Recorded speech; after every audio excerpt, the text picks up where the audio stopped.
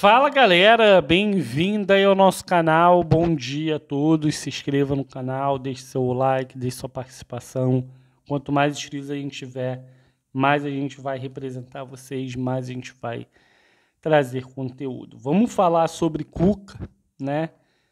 É, o caso dele é muito complexo, né? Ele fez uma cirurgia, né? Segundo a sua assessoria, trouxe que ele não está aberto a ouvir nenhuma proposta.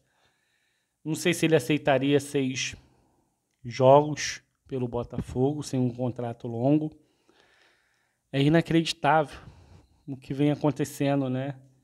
É claro que o, a gente vai falar, ah, culpa do John Textor que não trouxe um treinador. Cara, mas ele confiou nos jogadores. É um risco. Isso daí é a escolha né, de um cara de gestão. Lá atrás, a gente criticava o Bruno Lage. Falou, olha, todo mundo já entendeu o jeito de o Botafogo jogar. Só que as escolhas do, do Bruno Lage que foram erradas, né? JP Galvão tal, né?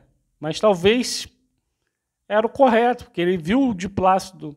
Então, para tu ver como as coisas são, né? A gente não tem como prever o futuro. Só Deus sabe o futuro de cada um. E esse futuro do Botafogo foi algo surreal.